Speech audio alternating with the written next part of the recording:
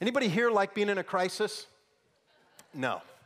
Uh, those, what, what I call those desperation moments, uh, those moments where financially you're looking at your bank account and everything just seems to be running dry. And then all of a sudden, you know how this works, right? The car stops working, something needs to be changed, a bill comes due that you didn't know about, a health issue, and you've got to take a trip to the emergency room with your kids, and you're wondering to yourself, how on earth am I going to pay for this? Maybe it's the moment that comes into your life, and all of a sudden it's like, you know what, that job that you were so dependent upon, they're making some cutbacks, they're laying off people. Maybe you just weren't the right fit and you got the notice that two weeks and it's all done. Or maybe not even two weeks, it's done now. Maybe for some of you, it's the marital circumstance. You've been there. Maybe if you're honest, some of you are still there that nothing seems to be going right in your marriage, that everything seems to be falling apart, that you're in this situation going, I thought that this, was going to work. Maybe you started the new year going, I'm going to start going to church. And if I go to church, Jesus is going to fix my marriage. He's going to make everything right. And actually, really, what you were thinking is, Jesus is going to fix my man, right? He's going to fix all of that problem and everything's going to be great. And yet, you find yourself in a situation right now where you go, Why am I in such desperate crisis? Maybe it's some circumstances with your kids some details going on in their lives, and you're like, I, I want to fix this, but I, I, I can't, or the decisions that they're about to make, and I'm out of, they're adults now, or all the details, or maybe, maybe for some of us, it's relationships. Something's been going on. It seems to be something that is in a desperate crisis right now, or maybe, maybe for you, it's your health. You went to the doctor, they had some bad news. Hey, I hate to tell you, you've got fill in the blank or you just been haven't, haven't been feeling well for uh, th- those moments. And here's the truth of the matter some of you have walked in through these doors and you are in a desperate moment today. Some of you, you're coming out of a desperate moment. For the rest of you, you're probably heading into a desperate moment. Aren't you glad you came to church and you got that information? The reality is, it's all going to hit us at some time or another. It's how, how life seems to operate. And today I want to spend some time looking at two individuals who found themselves in such desperate moments of their lives, and they came with a desperate faith to Jesus and to see his response. Because how he operated back then is very similar to how he's going to operate with us today, and to see what we can learn about what faith really looks like and what God does, what Jesus does when we respond to him in our crisis moments and come to him in faith. And if you're taking notes, I want to encourage you to write this in. Desperation often ignites or reveals our faith in Jesus. Have you ever found that? Desperation can often ignite or reveal your faith in Jesus. Those moments where all of a sudden you go, I have nowhere else to go. Maybe you have been not walking with God. Maybe you have had nothing to do with God, but there are so, so many things going on that you're like, I'm willing to give anything a try. Or maybe you're a follower of Jesus and it's this moment of, I throw my hands up in the air. God, Help me. I can't do anything else here. I'm coming to you and I'm asking you to do something incredible in my life. And that is what we find ourselves with these two individuals that we're going to spend a moment spending some time looking at their experience with Jesus. Now, let me give you the backstory of what's been going on in case you haven't been with us. We started Mark chapter 1 just about a month ago at the beginning of the year navigating through a man by the name of John the Baptist who came to prepare the way from the Lord. He's getting people's hearts spiritually ignited and ready to go. Jesus comes and is baptized by John in the Jordan River, and then the Spirit of God descends upon him. A voice from heaven declares, You are my Son, whom I love. With you I am well pleased. And Jesus is led by the Holy Spirit out in the wilderness to be tempted by the devil. He's fasting there for 40 days. And over the course of the last couple weeks, we talked that his beginning ministry starts. He calls calls a couple of guys, Peter, James, John, and Andrew, fishermen, and he says, Come and follow me. And then he begins and launches this ministry. Uh, the first moment that we read about is he's in church and a demon possessed guy stands up and he casts the demon out of the man, and, and this man is miraculously healed. Later that day, he goes to Simon's home and his Simon's mother in law is there and she's got a fever. Jesus picks her up, get, grabs her, and, and, and heals her, and she begins to wait on them. And then the whole town is coming. We talked about this last week. Everybody's coming to get their needs met, their, their, their, their fixed, their healings. And Jesus, after that whole night, he goes out early in the morning, as is his custom, and he spends some time in prayer. And the disciples come looking at him. They say, Everybody's looking for you, Jesus. The whole town is ready for you. This is a great opportunity. The ministry has started. And Jesus says, Hey, we're going to go someplace else because that's not what I've come for. I've come to preach the good news. And he goes out throughout Galilee, and that's where we find ourselves in Mark chapter 1, and we're going to be starting at verse 40 here. Hopefully, you found yourself there and you can follow along with me. It says this A man with leprosy came to him and begged him on his knees, If you are willing, you can make me clean. Jesus was indignant, yours might say. Jesus was filled with compassion. And he reached out his hand and he touched the man. I am willing, he said, be clean. And immediately the leprosy left him, and he was cleansed. Jesus sent him away at once with a strong warning See that you don't tell this to anyone, but go show yourself to the priest and offer the sacrifices that Moses commanded for your cleansing as a testimony to them. Instead, he went out and began to talk freely, spreading the news. As a result, Jesus could no longer enter a town openly, but stayed outside in lonely places. Yet the people still came to him from everywhere. Would you pray with me this morning, Father, as we spend some time opening up your word and your truth? We confess that we desire for your spirit to move in our hearts, that it would be more than just saying we came to church, but that we genuinely encountered you today. And Father, in this room, I got to believe that there may be some of us who have walked into this place in a crisis, we're desperate. And in a way that only you can, would you speak into hearts and lives this morning? Would you touch us much like you just touched the leper? And that we would walk away not just saying we were with God's people or that we were at the call church, but that we genuinely experienced the power and the presence of the Almighty God who loves us and cares for us, has compassion on us. So, Lord, we invite you here to accomplish your purpose. Help us to use this time to the full. In Jesus' name we pray. Amen. If you're taking notes, I'd encourage you to, to, to write this down desperate faith and Jesus' response to that.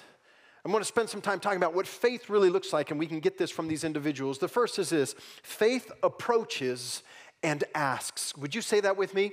Faith approaches and it asks. We have this whole idea of a man with leprosy comes to Jesus and begs him on his knees, and if you are willing, you can make me clean. Now, for most of us, we read over this and we start talking about people with illnesses and sicknesses, and we know that the mute came to Jesus and the blind came to Jesus. We're going to talk about this in a moment. The paralyzed got to experience the healing power of Jesus, but this is a unique situation. This is a man with leprosy. And leprosy, for most of us, we know it, it, it entailed a, a skin disease. But they have said that there were three forms of leprosy. First, there was a nodular or tubular, uh, a, a, uh, leprosy. And this disease could begin as an unaccountable sluggishness and pain and pain in the joints. It begins with little specks on the eyelids and on the palms of the hands. Then it begins to spread over the whole body. It bleaches the hair white. It covers the skin with scales and oozing sores. Nodules gather on the cheek, the nose, and the forehead. The whole appearance of the face is changed until the sufferer no longer even appears human. There is a second type, and the initial stages are the same as the first, but in addition, there was a loss of feeling in the extremities. The victim loses all sense of touch and pain, initially in the fingers and the toes, and then spreading up the arm and the legs because of injury and infection. There's a progressive loss of fingers, of toes, and in the end, even loss of a whole hand or a foot a study was done in a group of lepers, and, and what was being noticed is they were losing their fingers and they were typically losing their toes, and they couldn't figure out how this was happening in the particular area they were, they were doing the study because all sensitivity and the nerve endings were damaged. Rats were actually coming and eating the toes of these people off, and they could not even feel it. The third, most common of this, was a mix of the two types. It was a terrible fate, and there was no cure. No speedy death, only a slow and torturous death, eventually of decay. One author put it this way Leprosy was nothing short of a living death, a corruption of all the horrors, a poisoning of the very spring of life, a dissolution little by little of the whole body, so that one limb after the other actually decayed and fell away. It was a death sentence. Back, to, back then, they didn't have a cure for this. And, and as bad as that sounds, it was really an individual was, it was, it was only a matter of time. Hey, if you got notified you had leprosy and, and, and, and the moments, I would encourage you, you can read back over this in Leviticus chapter 13 and Leviticus chapter 14. You can see what the process was for the religious leaders, the priests of the day, to declare that somebody had leprosy. And not only was it that, that, that as you, as you kind of walked around in the disfigurement and all that that entailed, Leviticus 13 45 through 46 also gives another addition to all of this. It says, Anyone with such a defiling disease must wear torn clothes, let their hair be unkept, cover the lower part of their face, and cry out, Unclean, unclean. It was a warning to anybody that was around them. Every single time they got around a public environment with people who did not have leprosy, they had to let everybody know this is the situation that I'm in. Stay as far away from me as possible. And as a matter of fact, as long as they have the disease, they remain unclean. They must live alone and they must live outside of the camp. There was no social life for a leper unless you were socially in a, in a club with other lepers. It's just how it worked. You were excluded from all religious activity. You were excluded from, from going to church. You were excluded from community. You were excluded from touching. And, and what we know, not just from Mark's account, but from Luke's account also, and Luke was a doctor, he describes it this way this man was full of leprosy. This is a guy who's been experiencing this for a very long time. And I wonder, we don't know, was he married? Did he have kids? When's the last time that he talked with them? When's the last time that he had physical touch with somebody that wasn't another leper? And this guy is in a desperate situation, and he comes to Jesus and he approaches him and he breaks all the rules. He comes down and he begs him on his knees, Jesus, and he approaches him and he asks, If you're willing, you can make me clean. I want you to notice something. Does that sound humble? Help me out this morning. Does that sound humble? Thank you. Okay, this rose with me. All right, this is great. So I don't know about what you guys are doing here, but uh, yes, it's not this demand of Jesus, I want you to do this for me. It's a moment of Jesus, I believe something about you, and that is what actually brought me here in this moment. And I'm going to ask in humility that if you would be willing, I know and believe wholeheartedly that you have the power and the capability to do this in my life. I'm not going to tell you what to do, but I'm going to ask you that. And it reminds me so much of the verse in Hebrews chapter 11, verse 6. And without faith, it is impossible to please God, for whoever comes to him must believe that he exists and that he rewards those who earnestly seek him. This guy pursues Jesus, comes to him, begs him, breaks the rules. And I want you to notice Jesus' response. Jesus responds with compassion. Would you say that with me? Jesus responds with compassion. It says, filled with compassion, Jesus reached out his hand and he touches the man. Yours might say, Jesus was indignant and, and both, I, I believe, are, are correct. Jesus feels this compassion for this individual who has been experiencing this. And I want to let you know that whatever your circumstances are today, Jesus knows very full well everything that's going on in your life. There's nothing that he misses.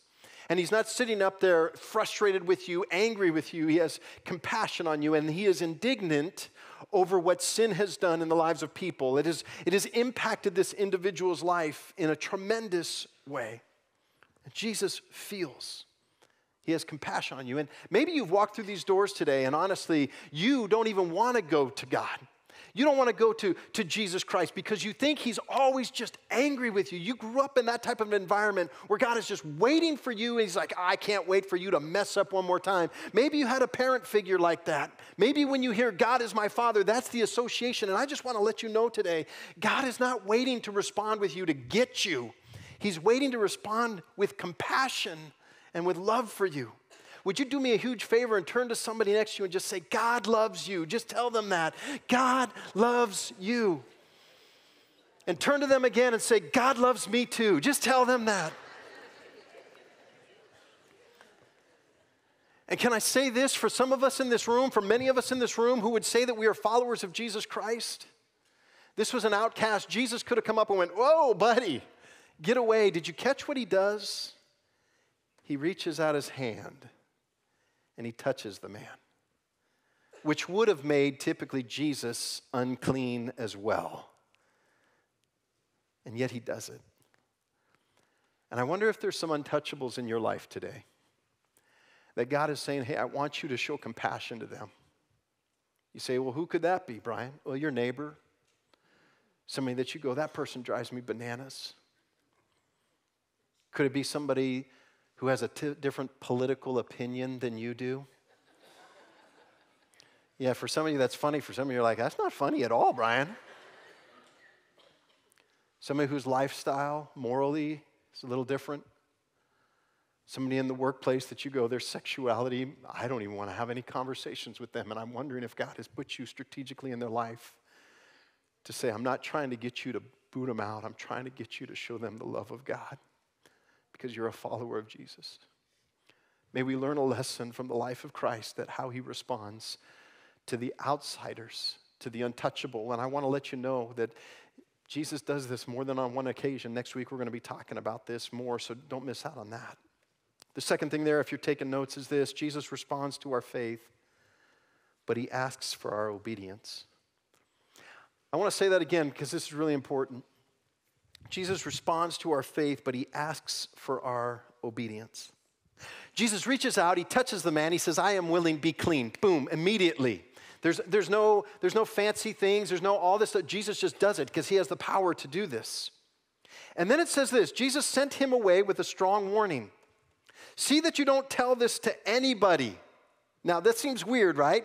If you were thinking that Jesus was trying to start his ministry and get recognition, you'd want tell it to everybody. But Jesus tells this guy, don't tell it to anyone, but go show yourself to the priest and offer the sacrifices that Moses commanded for your cleansing. You can read that in Leviticus chapter 14. It gives the whole process of how this works out, and a priest would declare somebody clean. They could enter back into society. Jesus has cleansed this man.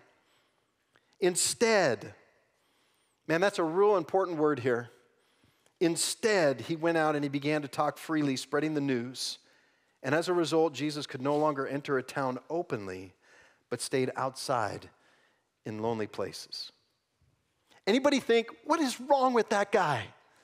Anybody read that and go, why wouldn't you just do what Jesus asked you to do? All you had to do was not say anything, go and offer the sacrifices, go see the priest. This could have been an incredible moment. The priest probably would have been like, What did you, you were the guy that you, you used to have leprosy and now you don't have it anymore. Who did this to you? Oh, it was Jesus of Nazareth. He healed me. This is incredible. It would have been an amazing moment. But instead, did you catch that? Instead, he went out and began to talk freely about it to everybody, such to the point that nobody could get around. Jesus didn't even want to go into public places anymore. He had to hide out because it had a huge impact on his ministry. I read this and I think of this guy, what a jerk. Jesus just did something incredible in your life, and you can't do one thing that he asks until I go, oh, do we ever do that? Yeah, Jesus has saved my life. And He asked me to do this, but instead, instead I choose to do something different. Jesus responds to his faith, but he asks for his obedience. And I think he asks for ours too. What are your insteads? It's anything that God asks us to do and to live by in the scriptures, right? Yeah, Jesus asks for this in my sexuality. He saved my life. Oh man, he's changed my life. But he asked for this in my sexuality. I, I, I don't want to do that. I got better ideas. He asked for this in the balance of alcohol and not getting drunk. But you know what? I want to keep doing what I'm doing. He asked me to be honest. He asked me not to lie in my business transactions. He asked me not to gossip and slander people. But you know what? Instead, I just go and do that at the water cooler at the workplace. And can I ask you a question? Have you ever thought that your life and your lack of obedience might have an impact on the ministry that Jesus can have through your life to other people? I'm going to let that pause and sink in for just a moment. This guy went out and shared with everybody what Jesus did, and now all that they want, they want to come and flock to him to get their lives fixed. And Jesus is saying, I want to transform people's destiny. I want to fix their sin problems, not just their physical ailments. And I wish you wouldn't have gone and done that. And not only that, Maybe it's the obedience things of what we should be doing. Hey, get me to that spot where I'm trusting in God and He's called me to serve. So, Lord, I'm going to step up and serve in that area and use my gifts to honor you. I don't know what your insteads may be today, but have you ever stopped to think that my insteads of doing what God has called me to do and living how God has called me to live may be the very thing that people go, You call yourself a Christian? And that's what a Christian is? I don't want anything to do with that. Now, we're all on a journey, right? Nobody here is perfect. Anybody here perfect? No, nobody. I'll talk to your wife. She'll tell me the truth, right? Nobody here is. We all miss the mark. And some of us, that's our thing, right? Well, I don't want to be a hypocrite, so I'm just totally honest with my imperfections. And you have been a Christian for 30 years and there's been very little growth in your life. It's time to step up to the plate. And instead of saying, instead, saying, God, I'm going to be obedient to you. This is getting really serious right now, so we're going to move to point two. It's uncomfortable. Faith takes action. Would you say that with me? Faith takes action. We see this incredible moment. Jesus heals this guy. And in Mark chapter 2, if you're following along, let's continue with the story. It says, A few days later, when Jesus again entered Capernaum. Now, if you remember this, Capernaum is where Jesus' ministry began, in Simon's household, in his mother in law's household. The people heard that he had come home. Everybody's excited. This guy was the guy who was healing everybody, and he's back. And look what happens next. They gathered in such large numbers that there was no room left, not even outside of the door, and he preached the word to them. Remember, this is why Jesus left Capernaum to begin with. He wanted to go because his mission was to preach, not just to heal people. He's saying, I, I got to go out, I got to share the good news with everybody. So he is preaching, he's teaching, and I wonder what this moment was like. I wonder how many people were hurt. Hey, he's back. The healer guy who left where we couldn't find him that morning. And I wonder if there might have been a couple of guys running to it. Hey, let's get over there. Let's see this guy. Let's listen to him. We know that there were teachers of the law. There were people that, there were, that, that were there that were there to be critical. There were people that were there to examine is this Jesus guy really for real? What is he teaching? We're going to get caught up on that. And I wonder if there were people going, we want, our, we want to see him. We want to get healed by him. And I almost imagine a guy or two run into the scene and maybe one of them saying to himself, hey, you know what, what, what, what about Paul? What about Paul? Yeah, what about Paul? Paul, you know, Paul, he's paralyzed. And maybe they had even tried to get him to Jesus on that first morning when Jesus left. He said, Yeah, I thought about Paul. What do you think? You think we should go get him? Why don't we get him? And these two guys maybe grab two other guys, and we know that there's four of them, and they, they go and grab Paul, and, and they're, they're taking him to the, to the household where Jesus is at. And listen to this in verse 3 Some men came bringing to him a paralyzed man carried by four of them, and since they could not get to Jesus because of the crowd, they made an opening in the roof above Jesus by digging through it, and then lowered the mat the man was lying on. There's an incredible moment. I mean, these four guys are carrying, you can almost picture it, right? This guy's on a mat, and we don't know exactly why he's paralyzed, but he's paralyzed. He can't move. And these four friends, these four guys who care about them, get to the spot, and the house is packed. I wonder if they're like, hey, excuse us. And people are like, hey, this, the teacher's, he's teaching. What's wrong with you guys?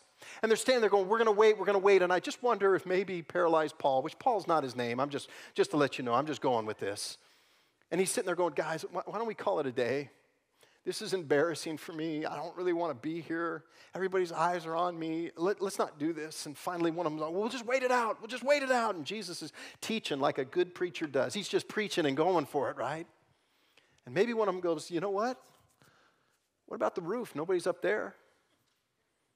And one of the buddies going, nobody's up there because nobody can hear anything up there. He's like, I know, but what if we tear into that thing? It's not our house. All right. Excuse us, excuse us, excuse us. And they're working their way up a stairwell to get to the top of a roof. And roofs in that time, not metal roofs, that's not how it was. It wasn't even your Spanish tiles. It's kind of like that. It was mud. A lot of times there was beams and, and, and thatch and, and sticks and mud and mud and then tiles sometimes. And, and roofs were flat back then because people would spend a good portion of their day in the cool, uh, afternoon when the wind would kick up these homes, they didn't have air conditioning, no electricity. It would get hot in the house, so they would do a lot of their living up above. And these guys get up there, and can you imagine the scene? I mean, just picture it even if we were here and, and, and, and we're teaching, all of a sudden something starts dropping out of the roof, right? We get distracted. I even get distracted. We get a crying infant, something going on like that. Somebody gets up to go use the restroom, and I'm like, everybody's eyes follow that. So that's why I'm just, you got to go before you get in here, right? So whatever. We get all distracted by all sorts of things. Could you imagine if we were sitting here and all of a sudden I'm talking and boom, this big old chunk of clay just comes bang, and then sticks are going and dust is flying everywhere, and all of a sudden you just see this beam of light coming through, and these guys going, hey, pull up some more, we can't get them in. And I know what we have in our mind, right? You've got this four by eight foot section, and this guy on a mat, and four guys with ropes, and they're all just gently letting him down nice and smooth here, right? Probably not how it happened at all. They probably got maybe a two by three little hole and they're pushing Paul through, you know, got, get down there, man. And they got him roped up and he's spinning around. And then they're like, if we drop him, no big deal. He's paralyzed. Right? I mean, they're thinking all of this stuff. And Jesus is still teaching, right? And then he lands right in front of him, and I'm wondering if he's just like, dang it, all these people are staring at poor Paul, who maybe didn't even want to be there to begin with. And he's like, what is happening right now? And Jesus does something crazy. It says this in verse 5 When Jesus saw their faith, he said to the paralyzed man, Son, your sins are forgiven. I, I, I, I wonder. I wonder if the guys up above are like, What? I wonder if the people sitting there listening to Jesus were like, What? We all know what they're doing here. It's a paralyzed guy who needs to get healed. And Jesus says to him, Son, your sins are forgiven. And I want to tell you that genuine faith takes action. These four guys got to a spot where they said, Listen, we may be on the outskirts here, we may be on the outside of all of this, but we're not giving up. We're going to trust that Jesus can do something for our friend, and we're going to do whatever it takes to get him there. We believe that he can, and we're going to take the action to do it. And in verse 5 there, if you're still taking notes, I think the whole point of this is Jesus often responds with what we need rather than what we want. Jesus often responds to what we need rather than what we want. When Jesus saw their faith, he said to the paralyzed man, Son, your sins are forgiven. Why would he do that? I believe because Jesus knew that there was a bigger need than what they wanted fixed right there. We don't know exactly why Jesus did that, but it could be that this guy has lived his entire life hearing, you know why you're paralyzed? Because of some behaviors in your life. That's God's punishment for you and your sin. Or could it be that later on in his journey, maybe this was the issue that he started making some decisions? Oh, yeah, you remember that night that Paul was up on the rooftop and he was drunk as a skunk and thought it'd be funny to jump off and he's paralyzed. Remember that day he got caught in adultery? The husband came home, punched him in the chin. He hit his head, cracked his neck, paralyzed. And I wonder if he's been living with the guilt and shame of his situation is standing before God because Jesus knew what he needed more than he knew what he needed. And he says, Son, your sins are forgiven. And I want to tell you this that sometimes in our lives, God does not always answer with what we want. It's true. The Apostle Paul prayed that God would take something away from him, and he didn't provide the healing for it. Not every time that we come to God is he going to give us what we're wanting, but he gives us what we need. He does. And for some of us here today, I wonder if our prayers may need to get adjusted just a little bit to say, God, I'm tired of trying to push of what I want. I'm asking you to give me what I really need.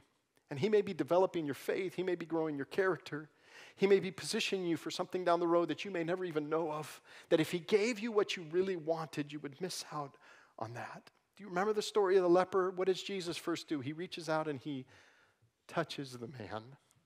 And I wonder how long it took Jesus before He said, I'm willing, be clean. Because He knew what the man needed. God knows what we need even better than we do. Number three here, my faith can powerfully impact others. I don't know if you caught this, but it says when Jesus saw whose faith? Their faith. Not paralyzed Paul, when he saw the faith of their friends. I want to let you know today, You may have somebody in your life that doesn't have enough faith to follow Jesus, and you praying for them may be the very thing that they need in their lives you inviting them to church, you sharing your testimony, you loving them through their difficult season. There may be somebody in your life today that I want to encourage you with this that may be struggling in their faith journey, and you being alongside of them to say, I'm going to pick up your mat, I'm going to go with you through this, we're going to see it through the tough time, I'm going to carry you through that your faith, maybe just rely on my faith for a season and see what God can do in your life. It might be that God wants to use you in some powerful ways. And I just want to conclude by saying this. I know we're a little long today because of baptisms, but we've asked this question from the very beginning of Mark Who is this Jesus? And at the end of this, this incredible scene takes place. Jesus says to him, Your sins are forgiven. And it says in verse 6 Now, some of the teachers of the law were sitting there thinking to themselves, we know that there's a group of these religious leaders that are watching Jesus, trying to find some holes about him. And now all of a sudden he speaks up and says, Your sins are forgiven. And this is what they are thinking. Why does this fellow talk like that? He's blaspheming. Who can forgive sins but God alone? Nobody has authority to forgive sins except God. And this guy is claiming that? Oh man, we've got a big issue here. And in verse 8, immediately Jesus knew in his spirit that this is what they were thinking in their hearts. And so he speaks up. He says, Why are you thinking these things? Which is easier to say to the paralyzed man? Your sins are forgiven, or to say, Get up and take your mat and walk? It's obvious, right? What's easiest to say? Your sins are forgiven? Sure, nobody can prove that. I can walk around, hey, your sins are forgiven, your sins are forgiven, your sins are forgiven, your sins are. Nobody can prove that. But he says these words, and it's important. But I want you to know that the Son of Man has authority on earth to forgive sins. I want you guys to know this. I tell you, get up and take your mat and go home. And can you imagine the moment? I wonder if paralyzed Paul was just like, okay, gets up, takes that first step, takes another step. The crowd's like, oh my goodness, what has just happened here today? And I bet you after that, he's running through the streets, because he hasn't been able to walk for who knows how long. He's moving his arms. He's telling his buddies, hey guys, fix the skylight, see, you know, whatever's going on there. And he's off and he's running. And then it says this He got up and he took his mat and he walked out in full view of them all. And this amazed everyone. And they praised God, saying, We have never seen anything like this. And they never would again because Jesus is altogether unique. He's not like you and me. And if we ask the question, and Mark starts this in chapter 2 just by declaring, Who is this Jesus? He is the Son of God who came to forgive our sin. That's who he is. He is the Son of the living God who came to forgive our sin. He is God in the flesh. We as Christians believe this. We go through passages. In the beginning was the Word, and the Word was with God, and the Word was God. John chapter 1. He took on form as a human being. Philippians chapter 2, verses 5 and following that our attitude should be like that of Christ Jesus, who, being very nature God, did not consider equality with God something to be grasped, but he made himself nothing. Colossians talks about in him, in Jesus Christ, the fullness of deity dwells in bodily form. Jesus is not just a great guy, he's not just a moral teacher, he's not just a prophet. He came to earth and he claimed, I am the Son of the living God. I am God in the flesh, and nobody can do the things that I'm doing, including forgiving sins. And so that you will know that I can forgive sins and I can prove that, I tell this man, get up and take your mat and go home. And so, what does this mean for us today? Because I know for some of you right now, you're like, I'm, I'm not a leper. That's not me. I'm not a paralyzed guy. Oh, all of us are lepers. We've all got this thing that is going to take our life. You want some more encouragement this morning? you have an expiration date. We all do. You want more encouraging word? Some of you are getting closer to that than others in this room. That's just the reality. It's a 100% chance that you are going to die. And you say, Well, I'm not a leper. Yeah, the leper had a walking death sentence, and you hear it all the time. We're in the land of the living. You are not in the land of the living. We live in the land of the dying. We live in the land of the dying. And until we have that moment, we come to Jesus Christ and we say, If you are willing, you can make me clean. because our eternity, we are separated from God because of our sin. It has destroyed our life. It's destroyed our relationship with God. And some of you are like, well, I'm not paralyzed. Oh, maybe you've come to faith in Jesus Christ, but your sin is still jacking up your life. You haven't let it go. It's, it's left you in a place where you're not even living life to the full any longer. And maybe today is a day of coming to Christ in faith and saying, maybe for the very first time, Lord, I need you in my life because God, in His love and in His grace, sent His Son Jesus Christ to die for your sins, to heal your disease, and not just your physical ailments, not just your marriage, not just your finances. He's not the genie in the sky. That's why Jesus didn't want that guy going out and telling everybody about him. Because Jesus' goal wasn't to come and say, I want to fix all your problems here on earth. His goal was, I want to come and fix your sin problem so that you can have a relationship with my Father, so that we can spend eternity with uh, each other because He loves you and He cares about you and He doesn't want you to miss the mark. The Son of God who came to forgive our sins. I wonder if there may be some of us in here today that, like that paralyzed guy, today your healing is to get rid of shame, to get rid of guilt maybe all the junk that you think people think about you, and to get to a place where it doesn't matter what anybody else thinks anymore to say, God, I'm just coming to you. I don't care what the world thinks about me. And in desperation, I'm calling on you. I'm approaching you. I'm asking you. And today, I'm going to take action. I don't know where you're at today.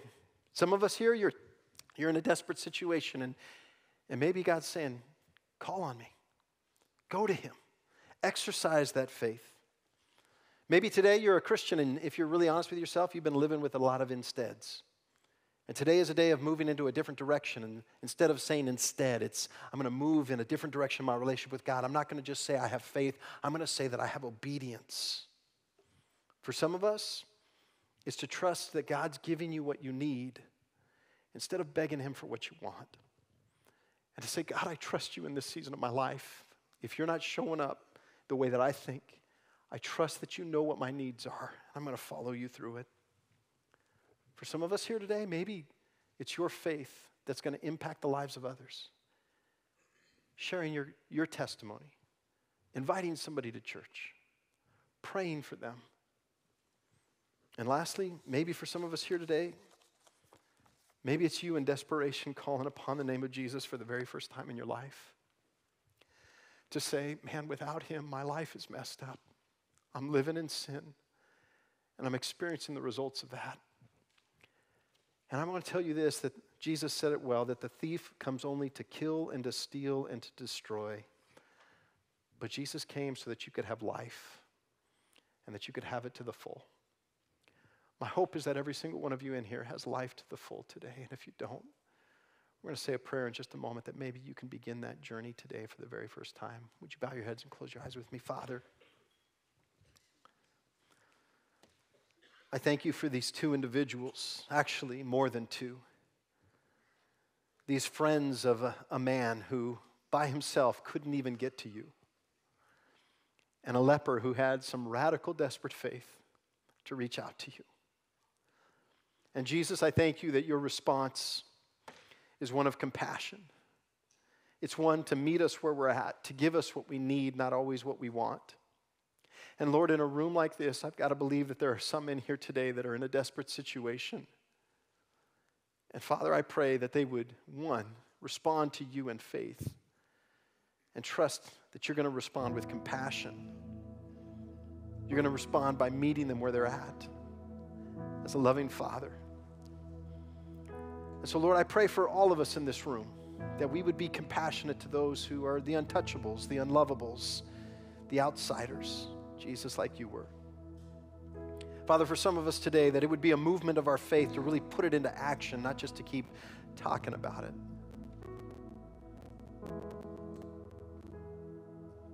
And Lord, maybe there are some here today, this morning, that for the very first time, it's a day of coming to you to ask for cleansing of their sin.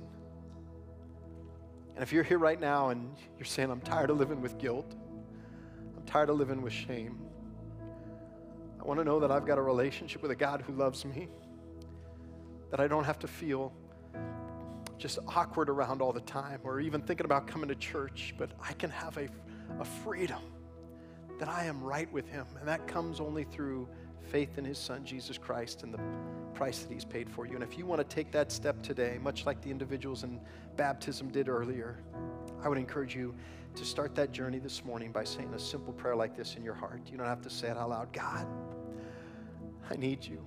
Like the leper, I need you. Like the paralytic, I need you. Right now, I need your touch. Jesus, I believe you died for me. And I confess my sin to you.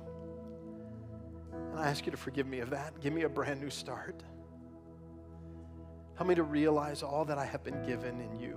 No more shame, no more guilt, but just freedom. So thanks for loving me more than I will ever know. In Jesus' name we pray. Amen.